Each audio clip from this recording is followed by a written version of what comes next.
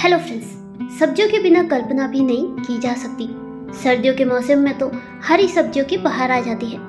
अधिकांश सब्ज़ियाँ सर्दियों के मौसम में सस्ती हो जाती है।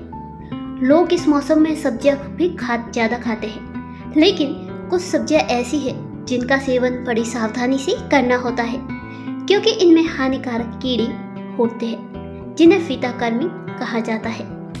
ये कीड़े इतने घातक होते हैं कि इनका लार्वा गर्म पानी में ज़िंदा रह सकता है। अंत में ये खून के माध्यम से दिमाग में भी पहुँच सकते हैं, जो कई बीमारियों को जन्म दे सकता है। इसके साथ ही ये कीड़े पेट के लिए बहुत नुकसानदायक है। तो आइए जानते हैं इस वीडियो में कौन से वे कीड़े हैं जो सब्जियों में छिपे रहते हैं। फूल गोभी या बंद गोभी की ओ आई की खबर में कहा गया है कि कच्ची सब्जियों में टैप फर्म हो सकता है, जो इंसान को संक्रमित कर सकता है। फीताक्रमी के लिए सबसे मनपसंद सब्ज़ी फूल गोभी और बंद गोभी है। ये कीड़े बहुत छोटे होते हैं। कुछ इतने छोटे होते कि इन्हें आँखों से भी नहीं देखा जा सकता।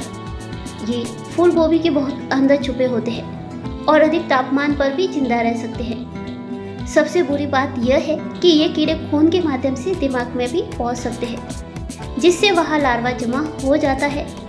अगर ऐसा होता है तो दिमाग सहित लीवर और मसल्स में घातक बीमारियाँ पनप सकती है। बैंगन। बैंगन भी बहुत लोकप्रिय सब्ज़ी है। बहुत से लोगों को बैंगन का भरता पसंद है, लेकिन बैंगन में भी टैप वर्म यानी कीड़े होते होने का जोखिम रहता है। माना जाता है कि बैंगन में जो सीड्स दिखते हैं, उनमें फीता कृमि चिपके हो सकते हैं, जो सीधा दिमाग में घुस सकते हैं। इसलिए बैंगन को अच्छे से पकाना ज़रूरी है। शिमला मिर्च। शिमला मिर्च जितना देखने में सुंदर होता है, उतना ही स्वाद में भी बेमिसाल है। शिमला मिर्च में भी टैपवर्म होने का खतरा है। शिमला मिर्च के अंदर टैपवर्म अपना अपना लावा छोड़ सकता है, जो सीधे खून के माध्यम से दिमाग में घुस सकता है। इसलिए शिमला मिर्च को बहुत अच्छे से पकाना चाहिए।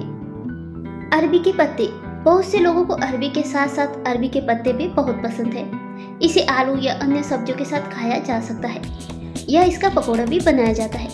लेकिन इन पत्तों में भी टेम, वर्म या फीताकर्मी होने का खतरा रहता है। इसलिए अरबी के पत्ते की सब्ज़ी बनाने से पहले इसके पत्ते को गर्म पानी से साफ़ ज़रूर करना चाहिए। परवल। आमतौर पर माना जाता है कि परवल में कीड़ा नहीं लगता, लेकिन इसमें भी टैप वर्म होने का खतरा रहता है। परवल के अंदर टैप वर्म का लार्वा होने का जोखिम बहुत ज़्यादा रहता है। इसलिए कहा जाता है कि परवल के बीज को निकाल कर इसे पकाना चाहिए। Thanks for watching please like share and subscribe.